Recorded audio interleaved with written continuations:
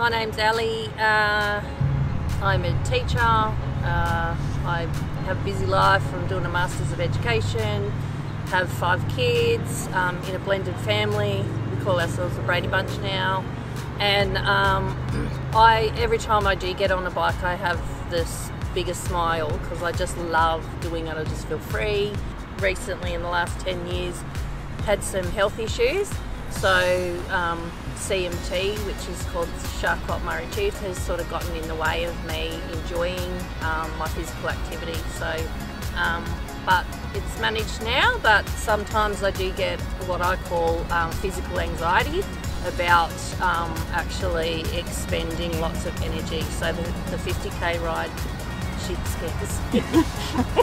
I'm trying to be active every single day of my life, even if it's only for 20 minutes. Um, and I kind of struggle with that. So I'm sort of motivated just to keep moving because um, CMT gives me some challenges with movement and energy levels. So, um, you know, my battery depletes much quicker than um, a person uh, of able body. So, um, with my disability, I've just wanted to, um, yeah, move more, I suppose. It's something that I do really enjoy. It It takes me away from um, what's going on with myself every day. Um, yeah, so I have, I ride sporadically, like I don't really ride consistently.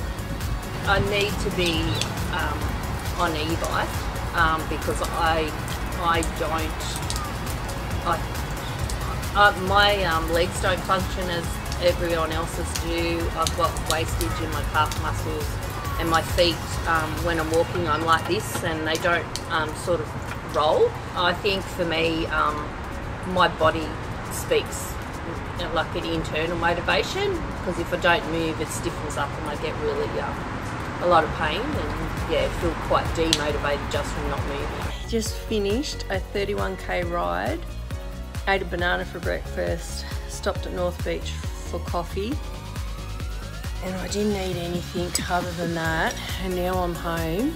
Oh, now I'm suffering bonking, which is when you get shaky and you haven't had enough um, nutrients or calories or whatever. But awesome ride, and um, yeah, it was really good to be just a ride from home and get out there and come back. So, my my words would be just get out there and do it. Yeah.